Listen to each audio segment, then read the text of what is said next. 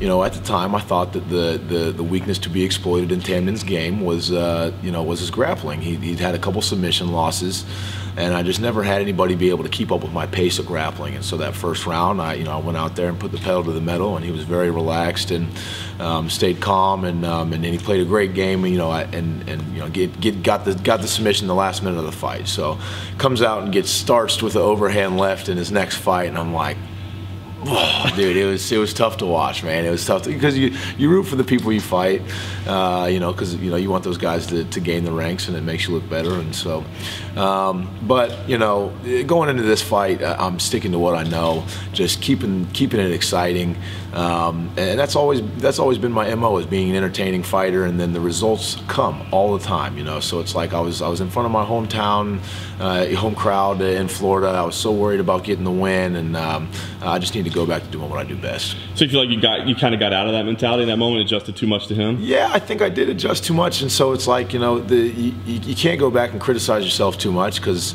Um, had I utilized that game plan against anybody except for Tamdan, I still think it would have worked, but it just didn't work that day. So, uh, you know, water under the bridge. I'm, I don't beat myself up too much about it. Seven months to get back. Was kind of surprised. Um, was there anything going on, or did, I mean, sometimes the UFC is just slow to book. Why, why, did it take so long to no, get back? No, the UFC actually offered me fights. I just had other things going on, and um, I was in Italy hanging out with you guys and uh, helping Luke Barnatt with his fight, and uh, you know, just living life, man. And so I, I've told the UFC several times I'd like to fight twice a year. One summer fight, one winter fight.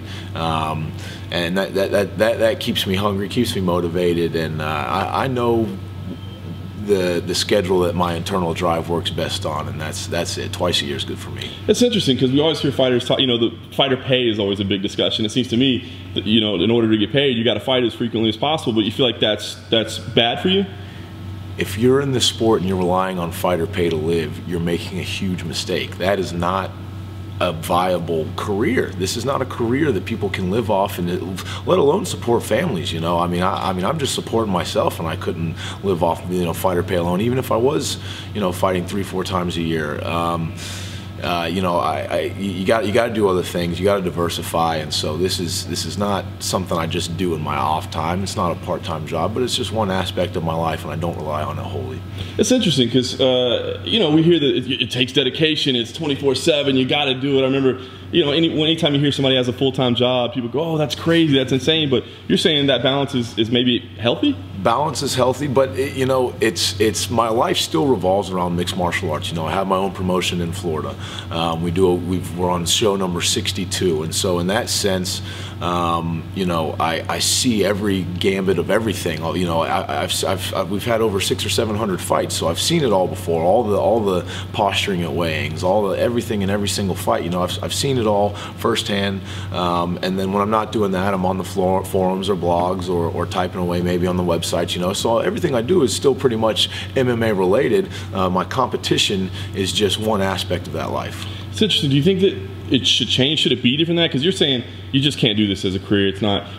I mean, we, do, is it possible? Could that ever change? Are there things that could be done that fighters can be full time athletes, or do you just think that this sport and this business isn't built that way? It's not just fighting. It's all at, you know all sports in general, all pro sports in general. I think a lot of times, um, growing up, you know, we get sold this dream that all of us are going to make it, and all of us are going to you know get to the highest level, and uh, all we need to do is work hard and yada yada yada. But it takes a lot more than hard work. It certainly takes hard work, but uh, you, you know, there's other intangibles as well that, that you know that you can't control, and, um, and that's what I try to tell the younger guys coming up in the sport is you know you can do this. You, the, the experience is great, but you know don't don't assume that you're going to be able to make a career off of it. And don't assume you're going to be the next GSP or the next Conor McGregor. Um, you know it's uh, it, it's it's not for everybody, and and it's a, you know such a tiny tiny percentage of us actually make it to the UFC. So for me, it's just foolish to to, to, to bank on one thing, especially one as hard to uh, as hard to, to hold on to as this. So with that in mind, do you have aspirations to be a GSP, a Conor McGregor, a champion, or is it more just have fun and get what you can out of it? Know, for me, I take it one fight at a time, and so you know, never in my career, I don't think you could go back and look at one interview where you where you you'll hear me say I'm going to be champion of the world. You know, I, I I I try to keep a cool head and realistic, and that doesn't mean that I don't have positive expectancy about my fights. It doesn't mean that I'm going into any fight thinking that I'm going to do anything but win.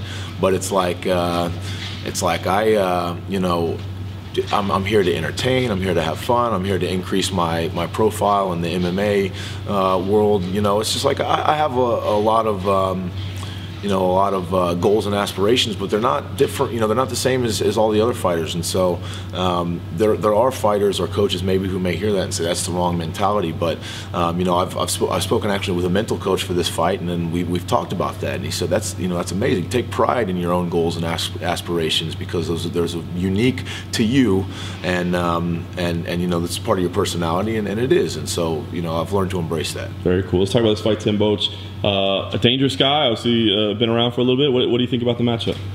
I like the matchup a lot, man. I'm not gonna lie. You know, Tim is a, is obviously a dangerous guy. He's got a whole boatload of knockouts, but um, you know, th- those were years ago. He's, you know, I just think I'm, I'm, I'm I think I'm more dangerous. I think I, I think I have more tools, and it sounds kind of like a cliched answer, but I mean, when you go and you look objectively at it, he's got an overhand right, he's got a nice left hook, and he's got a double leg, and so. Uh, been preparing for those things all camp. Unless he comes out with something crazy, then then, I, I'm prepared for, for anything he has to throw. Different mentality. You just come in, and I mean, this is two dudes meet in the middle because that's what it kind of looks like to me. I mean, a, a, younger athletic version. He's a he's a big, strong guy as well. I mean, is it is it just put on a show? Put on a show, man. Yeah, that's what the fans are going to get. So we're in beautiful South Dakota here in Sioux Falls. I know you guys are loving it. So uh, you know, I think it's going to be a, a, a, big crowd on Wednesday night, and, and, I'll give them what they want. I haven't read the book yet. I'm looking forward to, to checking it out. I know you got a copy here. So uh, how, how's the book doing? And, and you know, what's that experience been like for you being a published author? it's pretty crazy, man. There are you know thousands of copies floating around the world on Kindle and paperback, and so uh, to me, it's it's hard to wrap my my head around. And like I, I don't know, man, it's it's still it's still uh, it's still a process. It's still you know it's, it just came out a few months ago. So you know I, I, I the most gratifying part is just hearing uh, from folks who have read it and like when someone messages me and said, uh, you know I've, I've, read it from cover to cover. I read it in 24 hours. That that to me is like yes, like mission accomplished. Like I I, I, I did what I set out to do.